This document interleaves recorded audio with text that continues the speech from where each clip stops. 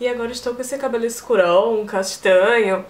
E aí eu pensei que esse cabelo ia combinar muito com a maquiagem com batom vermelho. Não sei porquê, mas eu adorei essa maquiagem e vim trazer aqui pra vocês. Eu espero que vocês gostem.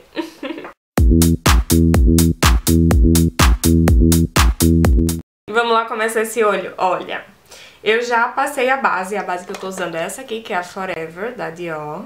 Já tem resenha completinha dessa base aqui no canal, vou deixar linkado aqui nos cards.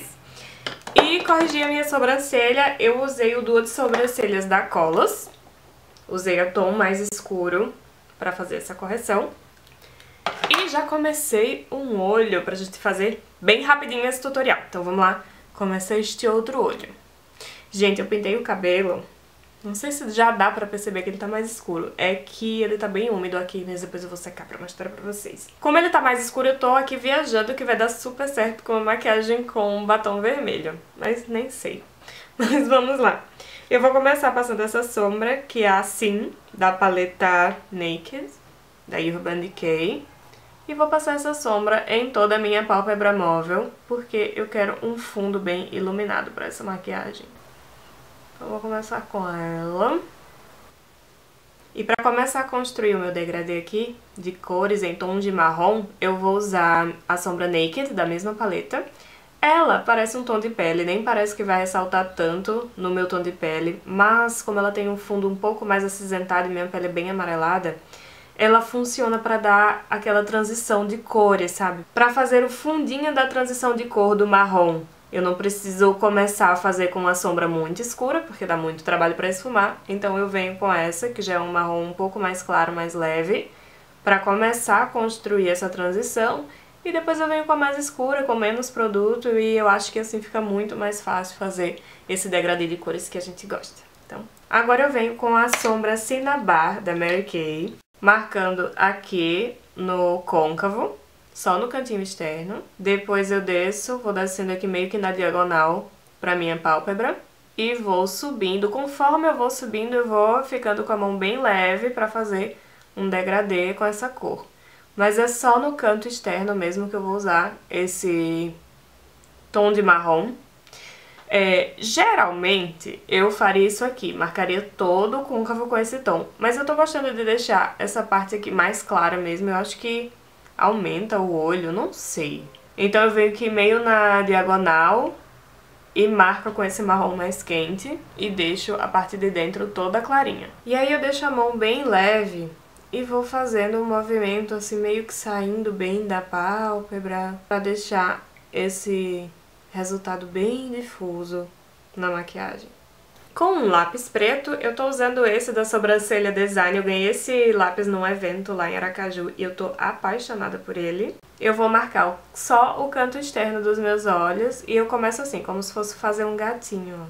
Puxando aqui na diagonal, vou marcar bem perto da raiz dos cílios. Já venho com um pincel e vou esfumar esse lápis, puxando pra fora e aqui mais pra dentro, levando pra cima com a mão bem leve para esse lápis se misturar com as outras sombras. Só para dar um drama para este olhar. E agora sim, eu vou usar um pouco de sombra preta. Eu vou usar a Creep, da paleta Naked. Ela tem uns brilhinhos, sabe? Eu achei que não me atrapalhou muito. Mas eu acho que uma sombra preta toda opaca seria melhor. Eu fiquei com preguiça de pegar outra paleta. Aí eu vou depositando sombra por cima de onde eu coloquei lápis. E aqui, quando eu chego no cantinho externo, eu começo a fazer um movimento meio circular pra ficar um, um draminha preto, sabe? Pra dar um toquezinho preto nesse esfumado, sem pesar muito. Eu voltei com o pincel que eu apliquei o marrom, o Cinnabar, Vou aqui esfumando, esfumando, para os tons ficarem meio misturados. E meio que não dá para entender direito o que está acontecendo aqui. Na parte inferior dos olhos, eu vou vir com o lápis preto. Vou passar na linha d'água, puxando um pouco para fora. Vou contornar todo o olho, todo o olho mesmo, Chegou aquele momento tenso. Vou esfumar aqui. Não peguei mais sombra preta, sabe? Mas eu tô usando o pincel que eu usei pra esfumar a sombra preta. Pra esfumar esse lápis preto aqui, na parte inferior dos olhos. Pronto. Eu vou deixar assim, mas depois eu vou vir com o tom de marrom, com a Cinnabar. E vou fazer mais um esfumado aqui embaixo. Mas vou fazer isso só depois de passar corretivo para depois o corretivo não sumir com tudo. Vou usar o Radiant Creamy Concealer da NARS. Já subo um pouquinho na lateral do nariz para ajudar no contorno, depois disso. E vou espalhar esse corretivo com esse pincel escovinha. Esse corretivo é bem do, tom do, do meu tom de pele. Aqui eu venho com a mão bem levinha. E vou dar um acabamento com o Dual Fiber Ó, olha a diferença de um lado com corretivo e o outro sem. E aí já vou selar esse corretivo com o pó amarelão de Marina Smith. Ele serve justamente para isso mesmo, para ajudar o corretivo a durar mais aqui, sem acumular nas linhas e tal. Esse corretivo da NARS, ele é, um, ele é cremoso e ele pede um acabamento, sabe, de um pozinho. E eu amo esse pó de Marina Smith, que é amarelado e fica super bem pra pele negra. Vou iluminar o centro do rosto, vou usar o corretivo da Bruna Tavares, o BT40. E aí venho com um pouquinho de corretivo aqui no topo do nariz, centro da testa, arco do cupido, queixo. Ó, eu ilumino aqui o topo do nariz e ele, isso já me dá o efeito de contorno.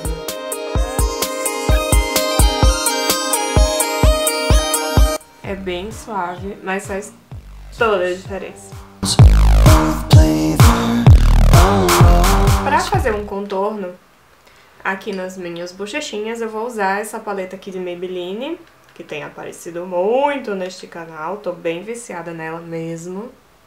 E venho aqui com a mão bem leve, saindo do lóbulo da orelha em direção à boca. E vou fazer um contorno bem levinho. Já vou subindo um pouco com o contorno meio que pra fazer uma caminha pro blush. O que restou aqui eu vou passar de leve na lateral do nariz e um pouquinho aqui no alto da testa, quase nada. Blush eu vou usar o Raisin, da MAC. Ele é um tom de ameixa, fica bem bonito, fica um rosado bonito pra pele negra, sabe? E eu venho aqui com pouquíssimo produto, porque ele é mega pigmentado.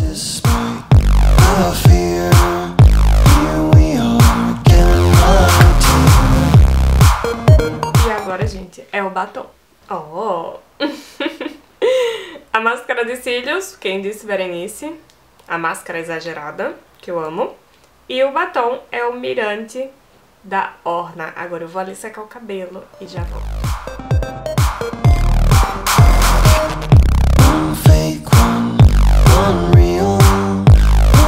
tenham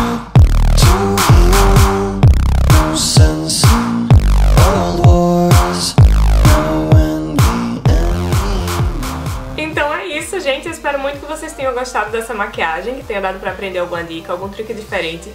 Me contem o que acharam desta cor do cabelo. Vocês acham que eu mudei muito? Eu não sei se eu tô achando assim uma super mudança não, mas tô gostando. então é isso, um super beijo, obrigada por assistir e espero no próximo vídeo, hein? Tchau!